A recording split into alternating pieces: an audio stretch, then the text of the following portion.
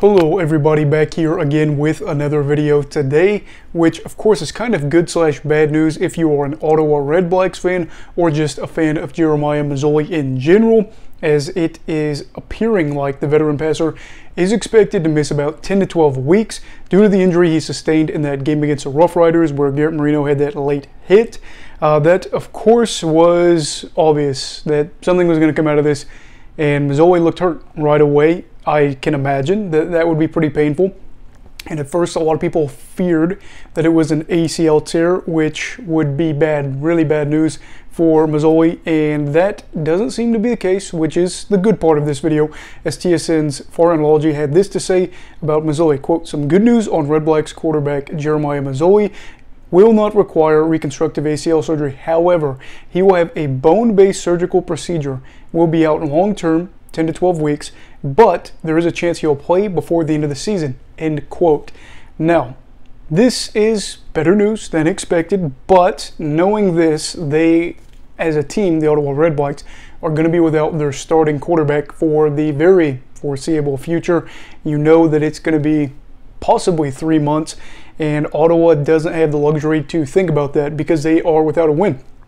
Course, the coaches, the players, the fans are all going to know, but they cannot just hone in on that one thing and they got to get focused back on trying to get a win. And they will be playing, of course, another team without a W this year, the Hamilton Tiger Cats, on Saturday, which means that likely second year quarterback Caleb Evans will be starting behind center.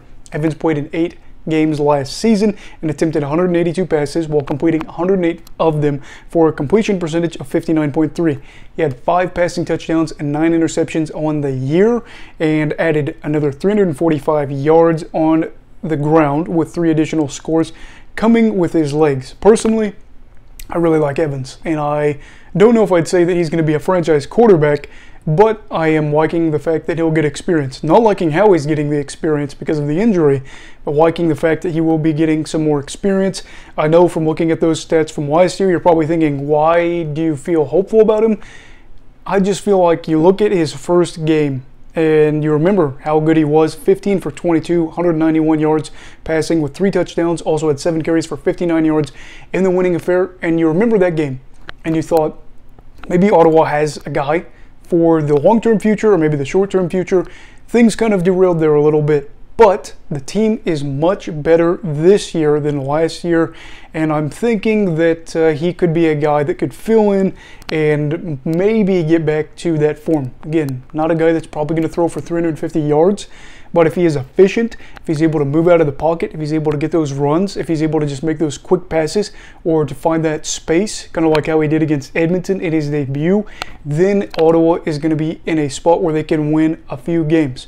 The CFL absolutely will not be the same without Masoli for this time span, but the reality is for the team and the fans, of course, is we have to wait for Masoli to heal.